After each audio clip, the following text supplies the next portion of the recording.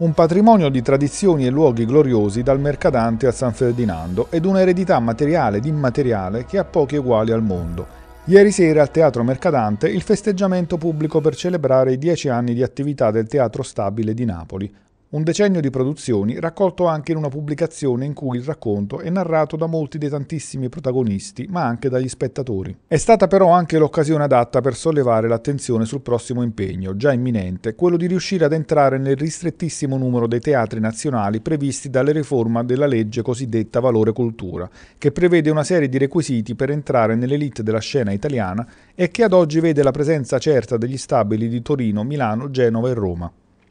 Entro il prossimo 15 gennaio si dovrà dimostrare al Ministero di possedere requisiti come longevità, capienza delle sale, numero di repliche e produzioni, oltre alla presenza di una scuola di alta formazione teatrale che è già in progetto per il San Ferdinando. L'assessore alla cultura del comune di Napoli, Nino Daniele, nel corso della serata ha ricordato che Napoli è una città geneticamente drammaturgica ed è già nel nome capitale di un teatro nazionale. E sarebbe pertanto davvero inconcepibile che la città più teatrale d'Italia per tradizioni antiche e capacità di innovazione non si proclamasse teatro nazionale.